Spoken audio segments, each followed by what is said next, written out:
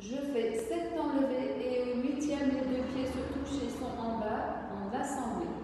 1 et 2 et 3 et 4 et 5 et 6 et 7, 8. Ça c'est important. Et maintenant, le pas de cheval, je retire au genou, je développe le sol. Une fois, deux fois, trois fois, quatre fois. Même chose avec l'autre jambe.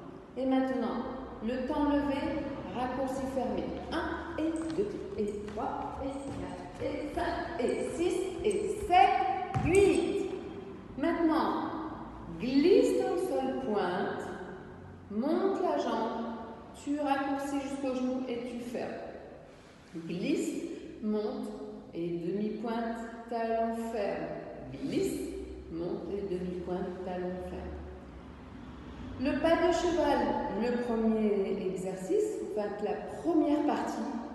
On peut aussi faire raccourci pour s'entraîner. Et comme disent les américaines, on développe. Comme si on voulait donner un coup de pied dans le ballon. Voilà.